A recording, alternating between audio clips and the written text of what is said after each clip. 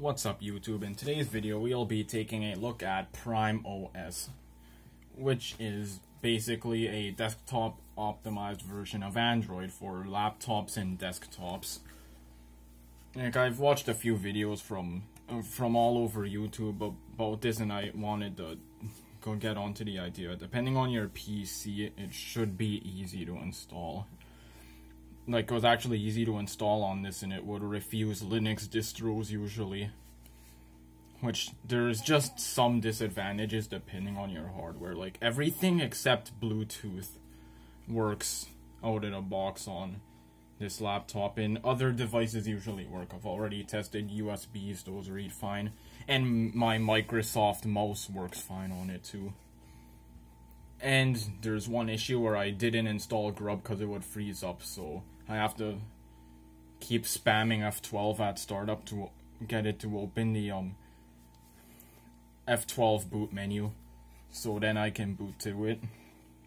But every otherwise everything is good so now we will be taking a look. So you obviously have access to the Google Play Store which is where you would get all your apps from just like I did on this system. I got all the apps on this system from here, so you'll be able to use almost anything. Some apps may not work. Like I've already ran into a few that a few that don't work because they don't support ARM. I mean not ARM, they don't support x86. And you um some web browsers don't work either, so you'll be stuck with Chrome. So we'll just use a few of the apps that I have on here. Well, first of all, we'll get into technical details. Okay, where's screenshots? So this is what my Geekbench score was. And the specs of the system I will pull up right away. So where's that phone information app that I installed earlier?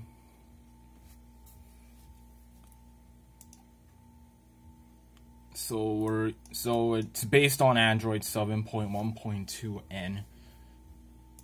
And it has an out of date security patch unfortunately, but it still works well.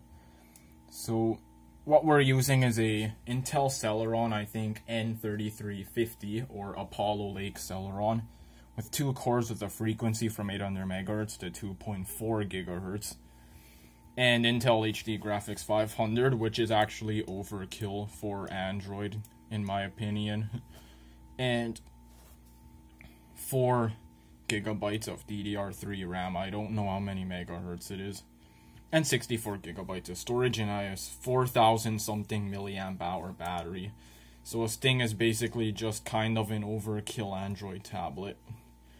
Like, I mean, the Geekbench score is actually higher than my own smartphone that I am recording with right now. Well, okay, enough talking. We gotta get to actually doing stuff. So what should we do first? Oh, why am I th even thinking? But some apps don't work. Like, we'll try some games, like, take a look at Minecraft.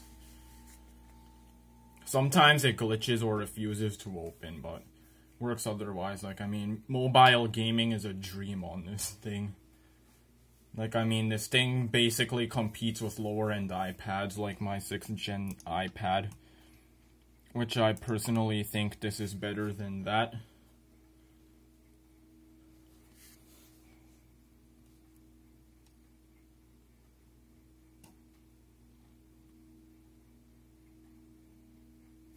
Like, I mean, all the standard keyboard options. All the standard keyboard options work. I am using my mouse and WASD. Okay, we're... I'm supposed to hold, okay. Is the chat open? Oh, yep, it does.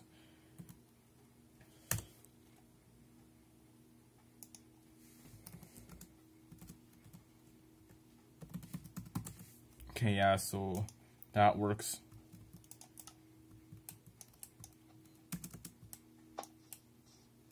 Okay, yeah, Minecraft is definitely playable on here.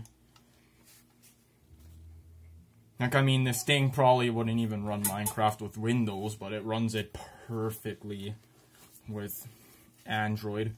Like, Android is just a better OS for cheaper laptops. Like, I mean, if you're if you want an Android laptop, you can go with something as trash as the HP Stream if you wanted to. And I can't get GTA San Andreas to work. It's just doesn't work that well. We'll play Sonic the Hedgehog quickly.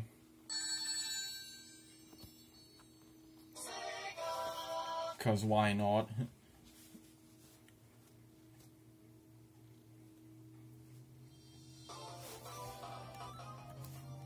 And the key shortcuts work just fine on this. Touch the start I clearly clicked. A lot of these and WASD works just fine on this too. Maybe I'll try a few mobile games, do some internet-based stuff after this. This should be around maybe a 15 minute video, I'm assuming.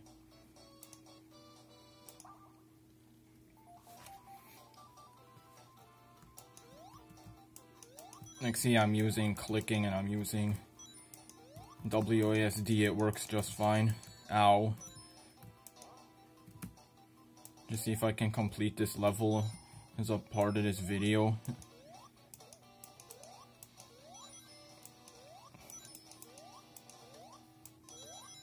oh yeah, and not I've never went into emulation, but emulation is something you can how do I okay, I have to start clicking this now. But usually um emulation is good as I've seen in other videos. People do use emulators on Android PCs and it works really well.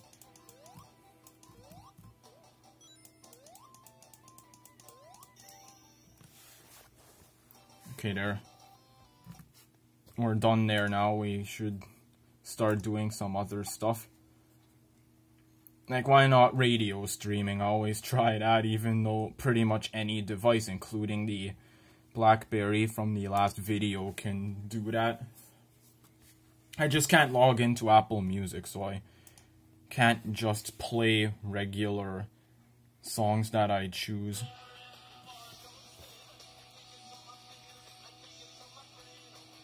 Yeah, of course that's gonna work fine. So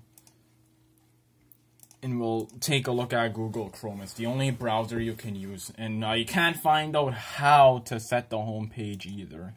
You may accidentally download files from a PC because then that's for a PC. Because for some reason the user agent string will come up as will come up as a Windows 7 64-bit. They probably did that to optimize the browser for desktop, I guess. That's probably why it is programmed to be Windows 7. Like, see, it says Windows NT 6.1, which would be Windows 7. And for some reason, it's on Chrome 100, even though Chrome 100 doesn't exist. And it had no, and this OS has no impact on my internet speed whatsoever. It's actually, it improved. It actually gets a higher top internet speed than it did with Windows. So you can just tell how bloated Windows is compared to mobile operating systems. And mobile operating systems, I think, are more suitable for systems like this.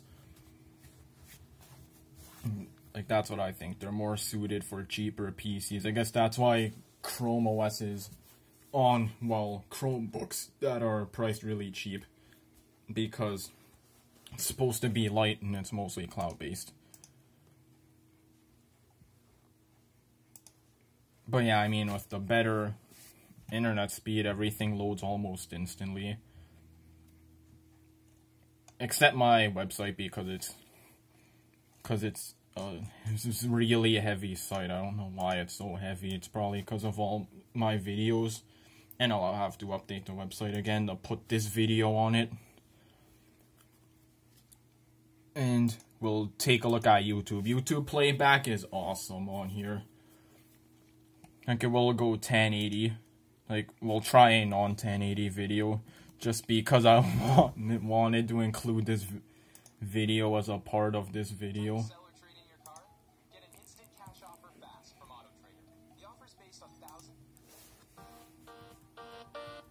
Like, I mean, video playback isn't bad, I'm not sure what the, like, I mean, hope, I hope this isn't copyright protected, but it's not that bad. Does escape work? Okay, yeah, that works. Now we'll watch a video that's 1080, which will probably be my own. We'll just try my own video, which I will mute We'll watch my latest video wherever it is.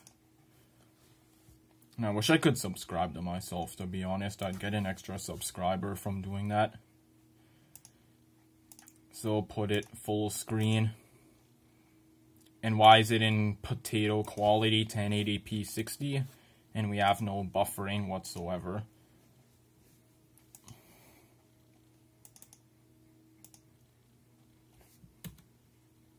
Okay, I cannot fast forward 10 seconds for some reason. Okay, now this is where it's sucking. Now it's starting to lag, but usually YouTube playback isn't bad. I mean, it's better than what my iPad has for video playback. So that's YouTube. I mean, it's it's really good for productivity too, which is what low-end devices are are usually used as.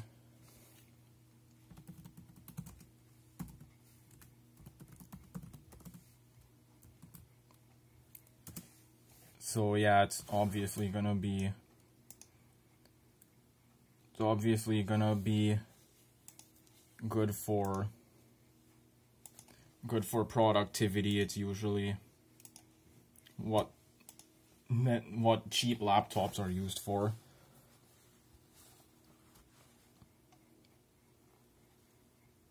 I mean, I'll see what local media playback is like if I can even, if any of these songs are even on here and they're not, but I'll quickly open them from files as I did copy them over.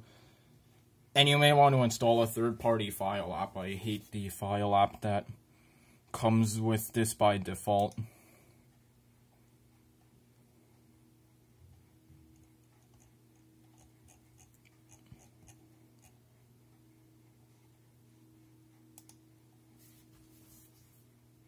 Do we have any... Oh wait, I'm muted. I can't play this too long. I don't want to get copyright.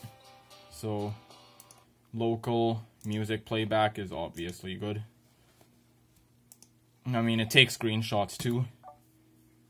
Just have to hit the print screen button and it instantly works. You don't have to use the power plus volume down or anything. And Shazam works too already. Tried that, but I'm not going to try it on video. What about editing a photo in Photoshop Express? Already edit my thumbnails sometimes with this.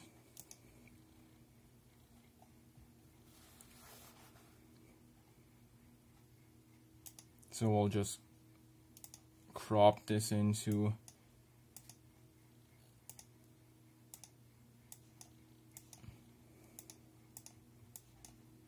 just put it original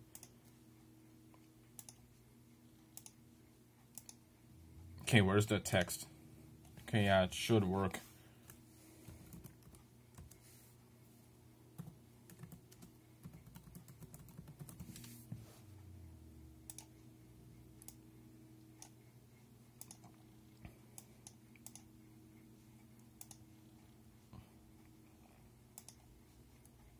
Okay, there, that's it. I don't care if I save that. Can be a memory from this video.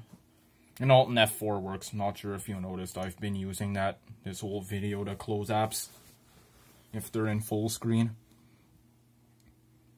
Then, I mean, Google Maps works, but this is unfortunately gonna give away my location. But I gotta turn on the track. Oh, wait. is the track no is the trackpad on because I wanted to show the some of the gestures because because gestures do work see? I am zooming out from the trackpad and kind of accidentally zooming in. And then you can obviously move the mouse around. Satellite loads almost instantly especially having a weak GPU, but I cannot use the scroll wheel. I'll have to either do this on the screen or use the gestures to zoom in on anything. Okay, we're at about 15 minutes, so we may stop here. But first I'll just go to settings. You can actually enable super user by default. You don't actually need to go through any rooting rooting process. Let's see, it is an outdated um, security patch. And there is a place to check for updates. But there's none available. Probably because it downloaded the latest version.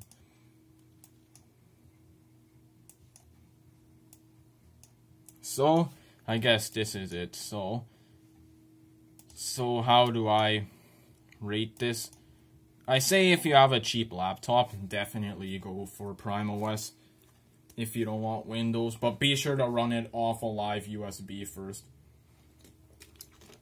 As you can make sure everything works. That's what I did.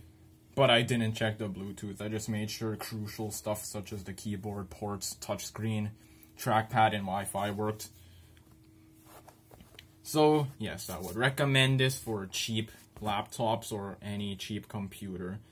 It makes it run much faster. I recommend your computer though having flash storage or a solid state drive just so it's fast fast still fast when you pack lots of apps into the operating system or I mean device.